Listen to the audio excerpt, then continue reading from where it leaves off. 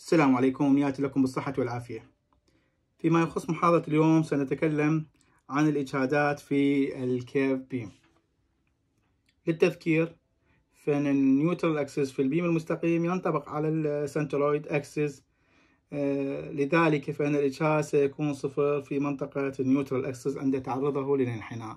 يعني بالضبط بس للتذكير خلينا نشوف إنه هذا الجسم سابقا إذا كان مثبت ويسلط عليه لود وهو بشكل مستقيم راح تكون عندي المنطقة للأعلى. إجهادات تكون فيها شد والمنطقة للأسفل راح تكون إجهادات انضغاط. بالضبط راح يكون بهالشكل هذا. في منطقة المنتصف راح تكون عندي الإجهادات صفر. وال neutral axis محور ال neutral axis ينطبق على المركز. تكون المسافة واحد إذا كان مستطيل وإذا كان غير مستطيل أيضا. لكنه اللي يهمنا أنه هنا عندي ال beam هو مستقيم ما بي curve. إذا كان الشكل ال beam على شكل curve الإجهادات شلون راح نقدر نحسبها؟ قبل ما نحسب الإجهادات خلينا نرسم ال curved beam شلون يكون شكله.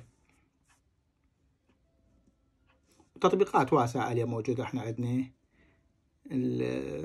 الهوكس وغيرها تكون موجودة بهالشكل هذا. وهنا يسلط لود مثبت من جهة واحدة إذا كان هذا المقطع مستطيل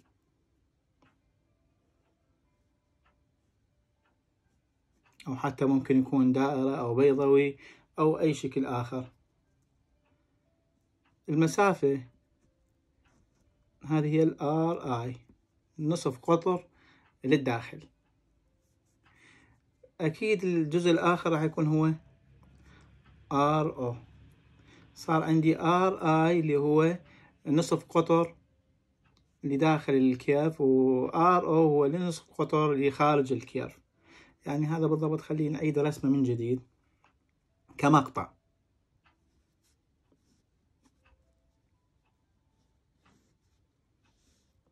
بالشكل vertical صار عندي.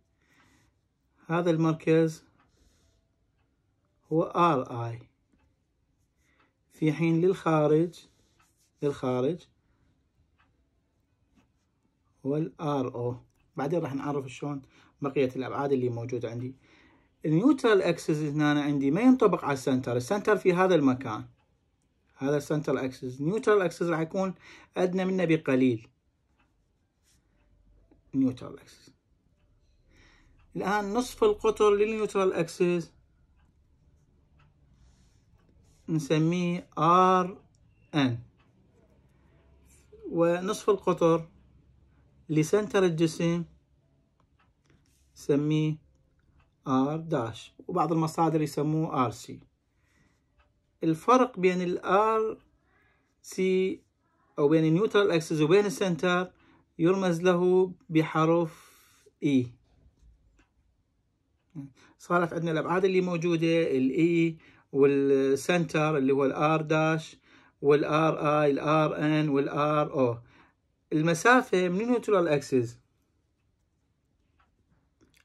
إلى الأعلى إلى إلى البعد الأعلى نسميها ال CO المسافة من neutral axis وحتى المنطقة الأسفل نسميها ال CI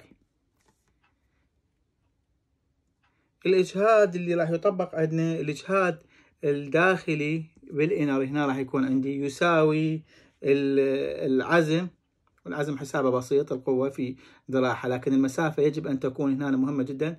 العزم يساوي أن القوة في المسافة لل center وليس لل neutral axis. المسافة لل center اللي هو هنا المسافة لل center.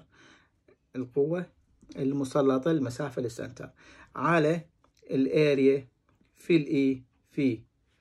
بما أنه للداخل فراح يعتمد على ال CI اللي هي المسافة اللي هسه راح عندنا procedure خاص راح نحسبها إن شاء الله على ال RI. في حين الإجهاد الخارجي راح يكون عندي العزم أيضا على المساحة في ال e في ال CO على ال RO procedure بسيط راح نحسب به كل الإجهادات اللي موجودة. شلون راح نقدر نحسب الإجهاد؟ ال procedure راح يكون كالآتي.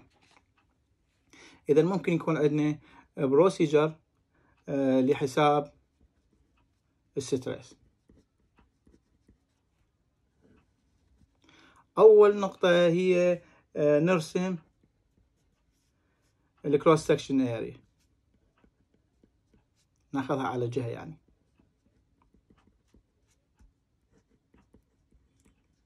ونعرف ال R i نصف القطر الداخلي ونصف القطر الخارجي. ثاني شيء عفوا نحسب ال y dash. وال y dash مثل ما تعرفون إذا كان عندي أكثر من مساحة راح تكون عندي المساحة الأولى في centroid المساحة الأولى زائد المساحة الثانية في centroid المساحة الثانية وهكذا لعدد المساحات على مجموع المساحات. ثلاثة ثالث نقطة راح يكون عندي آه، نحسب من عندها ال R dash واللي يساوي لي ال R i زائد ال y dash بس للتذكير هنا نرسم المستطيل من جديد حتى يكون عندي واضح إنه هذا هو ال R i. هنا عندي ال center. فهنا يكون عندي ال R dash أكيد هذه المسافة راح تكون عندي مقدارها y dash لل center. فال R dash يعني مو شرط نحفظها. ال R dash يساوي ال R i زائد هذه المسافة أربعة.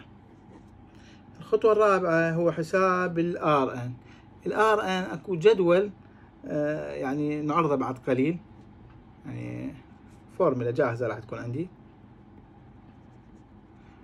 لكل الأجزاء للمستطيل R n يساوي ال H اللي هو الارتفاع اللي موجود عندي في ال ln ال R o على ال R i ولبقية الأشكال راح يكون عندي جدول خاص بها. خمسة. ال e اللي قلنا هو الفرق بين ال neutral axis إحنا قلنا ال neutral axis إذا كان هنا فهذه المسافة e أكيد راح تكون هي الفرق بين الار داش ناقص ال الار يعني فالاي راح يساوي لنا ال R dash ناقص ال R n ستة. السي اي السي اي هو يمثل هذه المسافة. خليه باللون الأحمر شوي يمثل. هذه المسافة هي السي اي السي اي راح يساوي لنا ال R n minus ال R i هذا هو ال R n minus ال R i راح يطلع لنا هذه المسافة. سبعة. سي أو يمثل ال R o minus ال R n هذا هو ال R o minus ال R n ويطلع لي هذه راح تطلع لي هذه المسافة. وأخيرا نطبق الاجهاد stress ال inner الداخلي للأسفل راح يساوي لنا مثل ما تكلمنا سابقا إنه العزم في الاي في الاي على السي اي على الار اي والستريس للخارج راح يساوي لنا العزم في الاي على الاي اي السي أو على الار أو لكن نؤكد من جديد إنه الام تساوي القوة في المسافة للسنتر للسنتر هسه إحنا عندنا للسنتر هي المسافة آه الار داش وهكذا بالنسبة لبقية الأشكال على شكل curve. ممكن يكون على شكل آه T ممكن يكون على شكل حرف I وأشكال أخرى موجودة ممكن نطبقها بالأمثلة الأخرى إن شاء الله.